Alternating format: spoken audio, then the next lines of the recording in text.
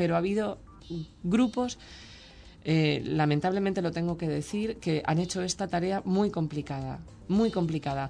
Yo tengo, lo comentábamos hace un rato, yo tengo entre, entre mis tareas en el Ministerio de Igualdad la responsabilidad de atender la comunicación con la ciudadanía.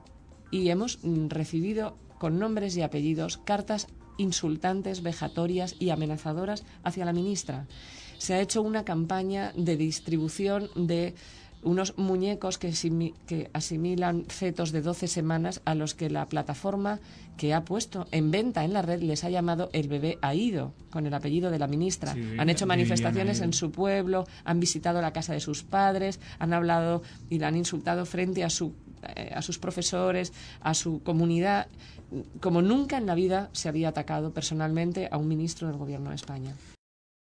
La presentación de Viviana Ido, una ministra de un ministerio joven, un ministerio que recién nació, pero una ministra muy joven, también 33, 34 años tiene. 32 años 32 recién cumplidos y ya es ministra por segundo año. Eh, ustedes van a interferir en las relaciones de, entre los padres y las hijas, van a permitir, están forzando a que los, las hijas mientan, oculten a sus padres una información que es relevante para su salud y para su vida.